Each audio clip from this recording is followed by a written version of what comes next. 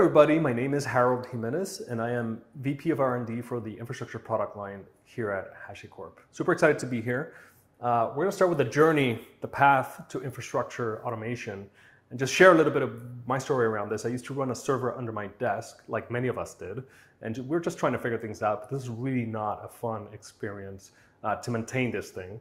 Uh, then came the co-location uh, uh, trend of the early 2000s where um, you know, let's get a little more serious. Let's buy an actual server and rent a rack and configure all that stuff. And at the time, we were also saying, okay, new beautiful server.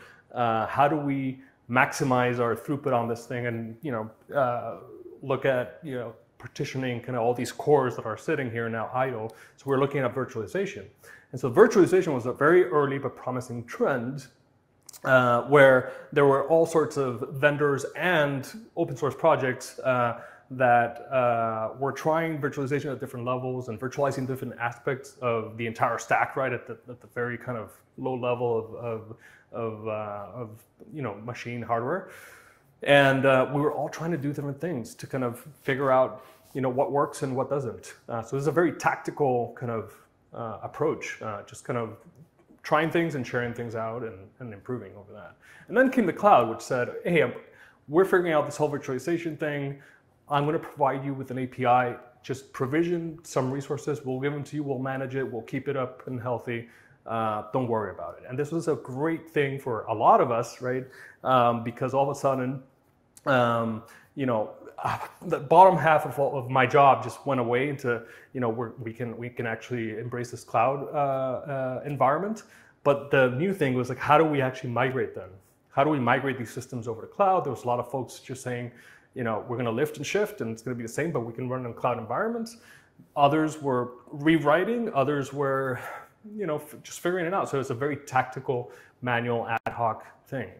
Um, and the shift from main mainframe uh, to dynamic infrastructure took years, but ultimately we get to the point where we embrace public cloud, and now we're in this world of multi-cloud, where we have uh, most organizations inevitably adopting multi-cloud strategy, whether it's hybrid and multi-cloud, uh, to adopt you know different pieces where you know we play to the strengths of different cloud providers, and ultimately uh, you know live in this world of, of a hybrid environment, right?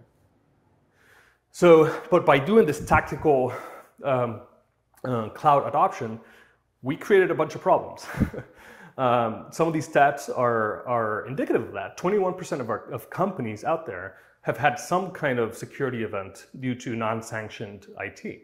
And so the idea that, you know, in a large organization, you have all sorts of people uh, provisioning cloud services, that's amazing on the one hand, on the other, you know, it leads to issues with configuration or issues with abandoned hardware or abandoned resources and that kind of thing. And that, that leads to eventually some kind of security event.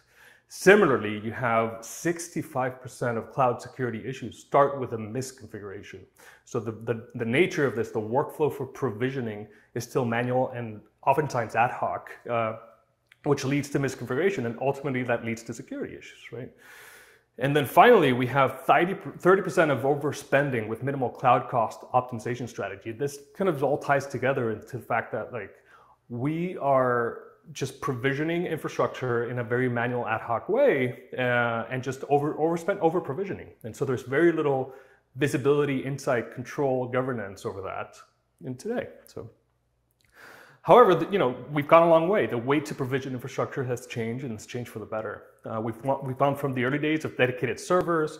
These are long lasting, long lived servers. I, I, I remember being uh, um, so proud of typing uptime into these servers and, and watching how long this has been running uh, to more capacity on demand, where I think of this as just a light bulb. You know, a light bulb is on, it's a commodity. If it burns, you you replace it. You, it's as simple as that. And same thing happens with infrastructure resources these days. Very easy to, to replace, um, and we kind of embrace that, right? And so these are short-lived. We talk about immutable. We're not going in and touching them and reconfiguring them. We're just replacing them because cloud environments allow us to do that, right? And so enter the cloud operating model. How do we deal with these problems? And really the cloud operating model is standardized in many of these uh, aspects um, that we just discussed. And driving what we're calling the industrialized cloud, cloud adoption as opposed to tactical cloud adoption. And the basis of this is one, we have a golden workflow where um, all provisioning of infrastructure goes through the same workflow. It's well governed, it's uh, well understood, uh, and allows us to share practices and allows uh, security vendors to and security teams within organizations to, to have some level of control over over what goes out. Uh, and so we'll talk a lot about uh, about that, but it directly addresses some of the issues, security issues that we were just talking about. Secondly, we have an extensible system, and we'll talk about extensibility as well. Um, here, the idea is that we're meeting uh, our practitioners, you know, where they need to be. So there's a ton of providers on our cloud our cloud infrastructure uh, tooling. So whatever cloud provider you want to use, whatever has an API, we can integrate with that. And as you'll see, we have uh, extensive ecosystem uh, penetration due to the extensible system that we've built. And then finally, there's the lifecycle management, which is really talking about um, once you provision, one point you provision, uh, we also e- eventually update or deprovision, but there's a lot that happens in between. And that's the life cycle of these resources that we want to also think about as we uh, embrace the operating model. So the cloud operating model, to summarize, really drives infrastructure agility. It's much easier, faster to do the right thing, and thus, you know, democratizing the whole process and allowing more and more people to do the right to, to provision and own their own infrastructure and self-serve that. And also it drives infrastructure security because while we're allowing the scalability of infrastructure provisioning through the self-serve model, we're also having the right checks and balances in place and the right guardrails in place to make this, you know, safe let's talk a little bit about the golden workflow. At the essence of the golden workflow, we have what we call infrastructure as code. and so infrastructure as code is a strategy of, co- capturing complexity of infrastructure provisioning by borrowing tools and practices from software engineering and software development. Um, so to give you just a little bit of an idea of what that looks like, uh, we'll have a, um, a practitioner on the bottom left writing infrastructure as code uh, using through the registry community, community providers or modules, uh, which allow them to integrate with cloud services, um, and essentially defining what that infrastructure should look like, declaring that. So we say that it's declarative for the most part, and then our our the Terraform. Uh, uh core engine is going to run a plan, and this plan is going to say, okay, based on the current state of the world out in the infrastructure and what you want that infrastructure to be, here are the changes that are going to make. So this is something that a, a user can evaluate. It's human readable and easy to kind of consume. And then once after that, we can say, okay, apply this plan, and that infrastructure will eventually land in that consistent state uh, that was declared by the infrastructure as code. And this code is actually quite easy to, to reason about. Uh, there's this language called HCL, and it allows you to uh, declare these, these resources and uh, has support for all sort anything that has an API, as I said earlier. Uh, so very easy to kind of consume that. So and, and as, as we delve into, into the into the realm of practitioners writing code to, to declare infrastructure, we should think about developer experience. So I think about excellent developer experience really is about simplifying that optimal solution without getting in the way, without being too magical, right? And so that's essentially uh, what we're trying to do.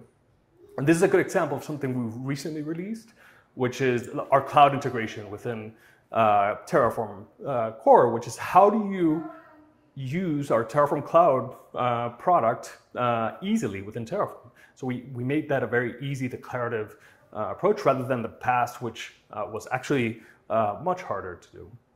This is by default a very easy operation. And similarly, there's a lot of people who are application developers that they, you know, they want to uh, provision uh, infrastructure, and there's many cases where uh, HCL is not the right tool for them. And uh, so we have things like developers writing Ember code or uh, React code JavaScript, going back to the backend, doing Golang or Ruby and Rails or what have you. And in addition to that, going, going into learning HCL uh, to provision their infrastructure is a tall order. so essentially, this is saying stay within the context of the tooling that you already have. That's fine by us. Uh, use that language and still be able to provision that infrastructure and have that logic and that those patterns uh, applied to the to infrastructure as well. So that's what CDK is all about. Um, and recently, some of the exciting bits that we've added to, to HCL as a language, one is preconditions and post conditions. Uh, these enable the creation of custom rules um, for resource uh, data for sources and outputs. And so the idea here is that a precondition will allow you to say, hey, uh, check, check this, run this check uh, right before evaluating the associated objects. These are usually used for just making assumptions.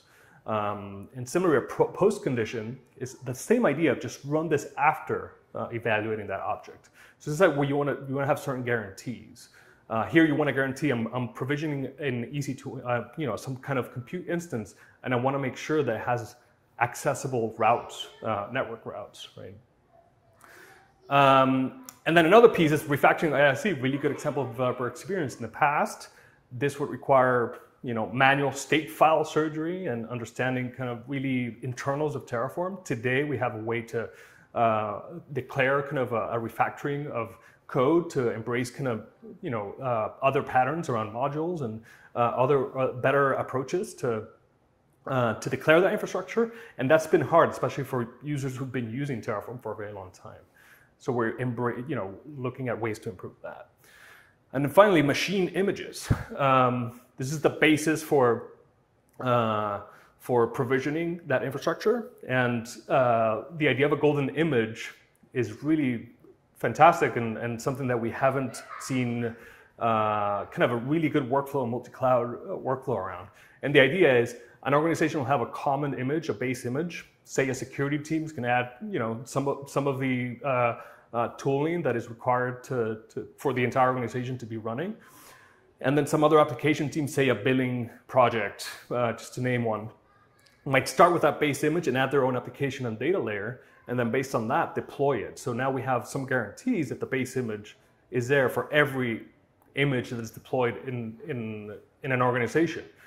And the workflows around this on HCP Packer, which is essentially a registry of these images, allow you to have visibility over images that are deployed where are they deployed, and also allow you to have some control over those images. So, for instance, here we have an example of uh, where um, an image is being revoked. So I, we don't want this image to be out in the world anymore, right? And so it's being revoked right there from the HCP Packer UI.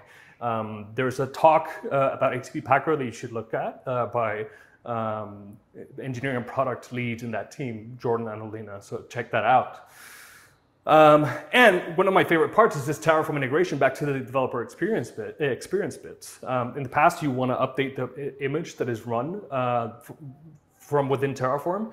That would require changes in Terraform. Here, we're now saying no. Just point at HCP Packer and control that from HCP Packer itself. So really, really wonderful uh, way to do that. And then we have the extensible system, which is really about the ecosystem. We have over 2,200 providers today. These are all uh, cloud providers, SaaS systems, anything with an, with an API, you can automate using Terraform. And really, when I think about ex- extensibility, it's about promoting innovation and enabling use cases that we haven't even thought of yet. Uh, in fact, future things that we that don't exist yet. Uh, it's resilient to that, right? And so, one really powerful and uh, exciting uh, area of extensibility is run tasks, which allow you to control um, the flow uh, of a Terraform golden workflow uh, by hitting or calling back to, to any system, whether it's a third-party system or one that you that you write yourself, uh, which is actually quite easy to write. So here, the example is between a plan and apply or a post and apply, our system is going to issue an HTTP post uh, request into the system of your choice, and you can respond in a way that blocks that execution from happening. So now you can have all sorts of use cases around, for example, security, or you could have cost estimation or cost governance, right? Uh, and many, many more, right? We already have over a dozen um, run task integrations, uh, something that uh, launched, you know, just weeks ago. Uh, so we're very excited about the ecosystem that's being built around run tasks, and can't wait to see all the things that you can do with it. Um, briefly how this shows up in our UI is uh, you know in, in, injected into the into the plan UI uh, or, or a plan of the run UI where you can see uh, which which run tasks pass or fail. Right.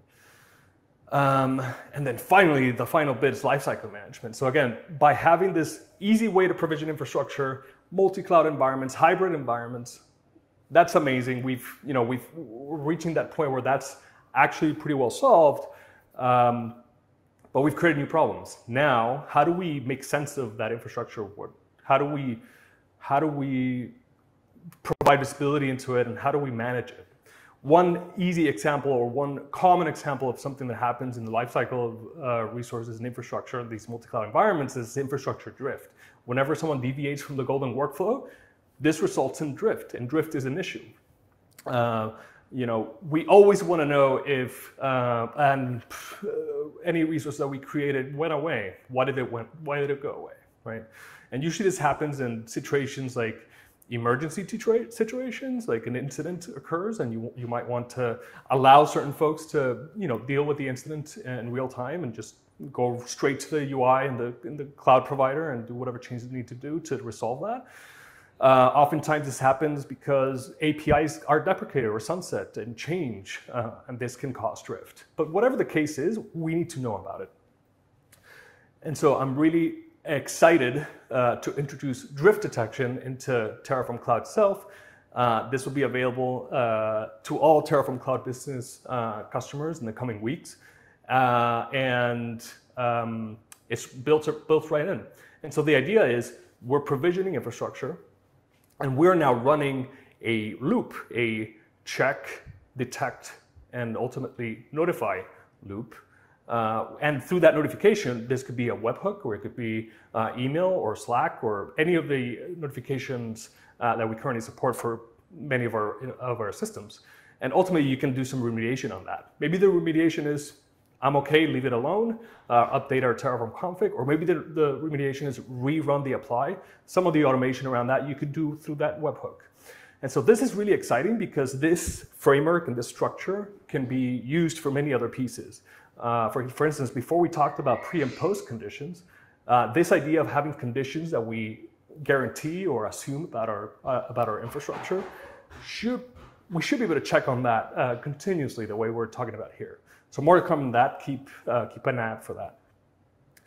So essentially, this was uh, what's exciting us and some of the updates on Terraform and Packer. thank you so much for coming uh, to, to HashiConf, uh, HashiConf Virtual. Um, and I look forward to you know chatting with you on Twitter or uh, feel free to reach out to me at that email address. And um, goodbye.